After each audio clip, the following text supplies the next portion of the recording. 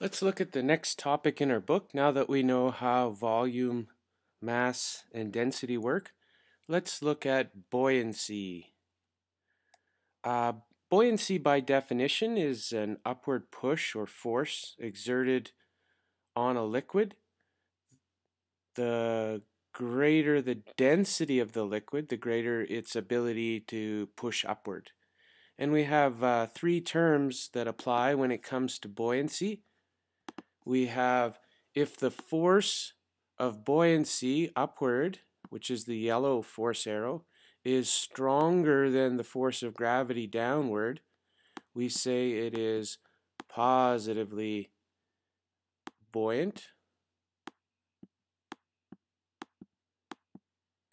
If the force of gravity down on an object and the force of buoyancy pushing up is the same, it will hover and we say it's neutrally buoyant.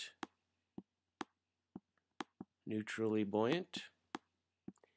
And of course, if its weight, which is the force of gravity, is greater than the buoyant force, which is the upward push of the liquid, then we say it's negatively buoyant. So three terms that apply based on the forces that act on an object in water. Uh, so the other thing we want to consider is why do some objects float while other objects sink? For example, a coin sinks because its weight, the force of gravity, is more than the amount of water it displaces. An aluminum ball floats because it contains air within its folds. Air weighs less than water, so the ball weighs less than the air. Good old Archimedes was an ancient Greek scientist who discovered that floating objects are supported by an upward force called buoyancy. he discovered this while running uh, naked through the streets, yelling, Eureka, Eureka. Buoyant force is equal to the weight of the liquid that the force displays outward. So let's look at this again. When we place an object in water, the fluid, due to its density, will push upward on an object. The greater the density, the greater that upward push or buoyant force. Uh, so let's look at this block of wood, and it's floating right now in pure fresh water. Which one of these pictures, A, B, C, or D, would best represent what happens to the block of wood if we put it in salt water. Well, what do we know about salt water? Salt water has more particles in it than pure water and its density is greater. Therefore, its buoyant force will be greater and it'll push the block of wood up higher. So, which picture would represent what would happen? Picture D. The block of wood would be pushing higher. It would be floating higher up in salt water than pure water. Uh, so this picture is just showing you uh, displacement. So when an object is put into water, it displaces an amount of water equal to the volume of the object. And the weight of the water in newtons tells us what the buoyant force is of the liquid on the rock, the weight of this water. So if we took a force meter and measured the force of gravity or the weight of the water, that would be equal to the buoyant force that the liquid is pushing up on on the rock. Now, we know a rock sinks. So this buoyant force would be less than the force of gravity pulling down. Or the weight of this water, which is equal to the buoyant force, would be less than the force of gravity down. Here's another way to find how much a liquid is pushing up on an object. Take the weight of an object, let's say we have a rock here, in air, and let's say it's 35 newtons. Then take the rock and submerge it into the liquid. Now what do you notice? The force meter goes down, which means the water's helping hold it up. And now it says 9 newtons. The difference between these two tells you how much the water pushed up on the object. So 35 minus 9 would give us the buoyant force of the water on the rock. So what would that be? 26 newtons is the buoyant force of the water on the rock. Uh, the upward push of a liquid changes depending on the shape of the object. If we can trap more object air in the object, then that will help us. But it also, the, the more water that's displaced, the more upward push of the buoyant force. For example, this block, which is 500 grams, which equals 5 newtons, and this block, okay, which one would sink? Probably the block that is pushing away or displacing less water. So here's Archimedes' principle again. So if we, uh, for an object that sinks, the volume of the object is equal to the water it displaces. So let's say we put this in here and it goes to there and it displaces this amount of water. If we take the weight of that water in newtons, that's equal to how much water has pushed upward or is equal to the buoyant force of the water. Let's look, sink or float. So if the bottle is like this,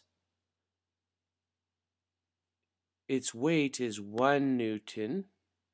Its the buoyant force of the liquid on it is 10 newtons. So it sinks or it floats.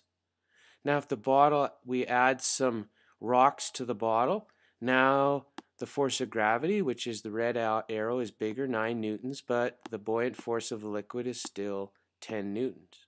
So it still floats.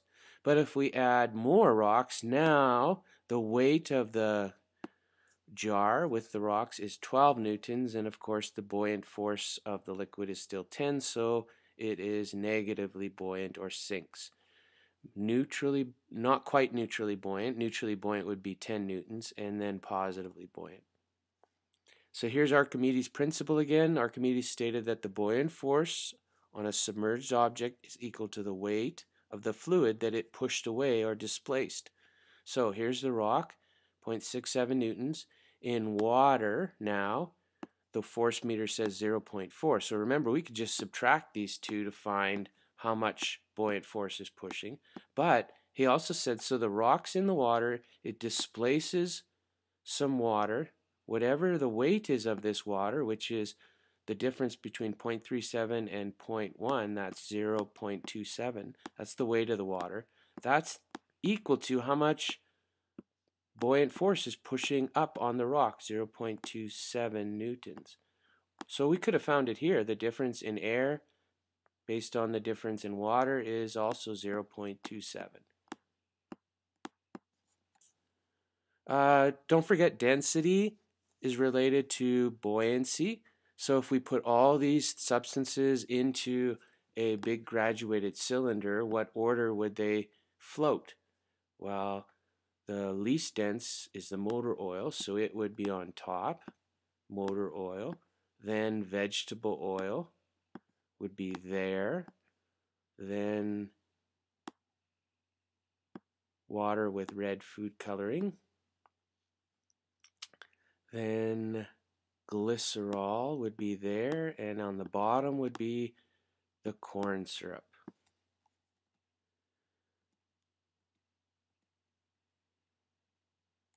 Let's look at this video clip on buoyancy.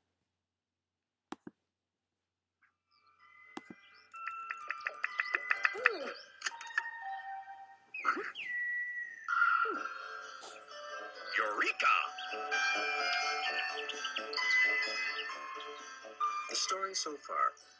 The word volume comes from the Greek for envelope and refers to how much space an object envelops. The word density comes from the Greek for compact and refers to the amount of mass that is compacted in a given volume. And now, buoyancy.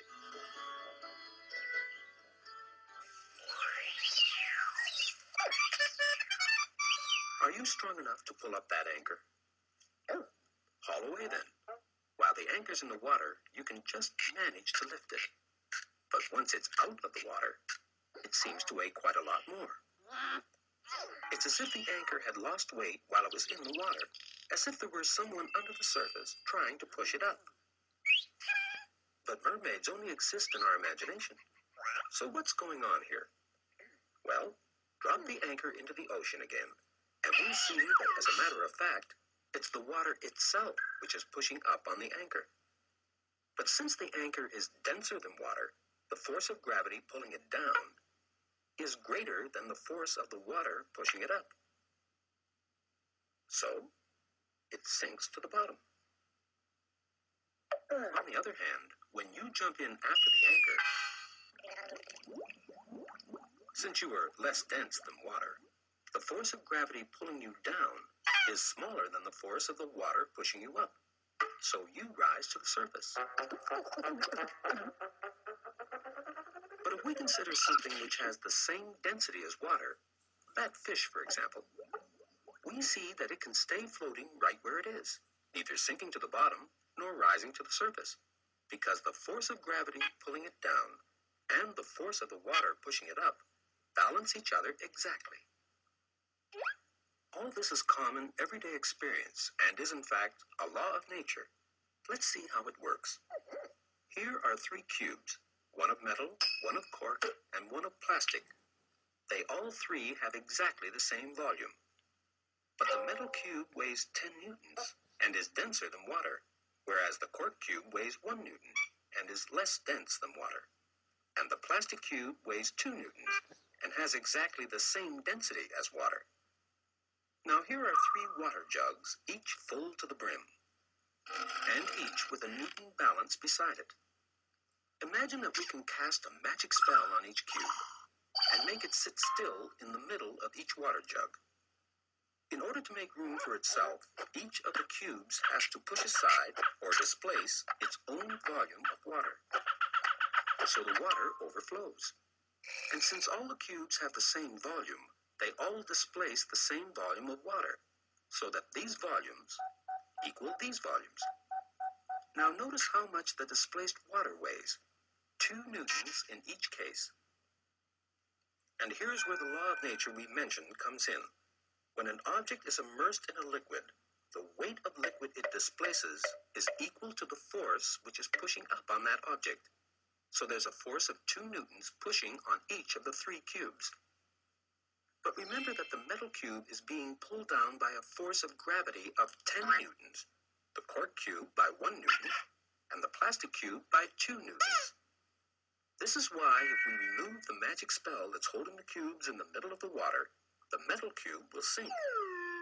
The cork cube will rise to the surface. And the plastic cube will stay floating right where it is.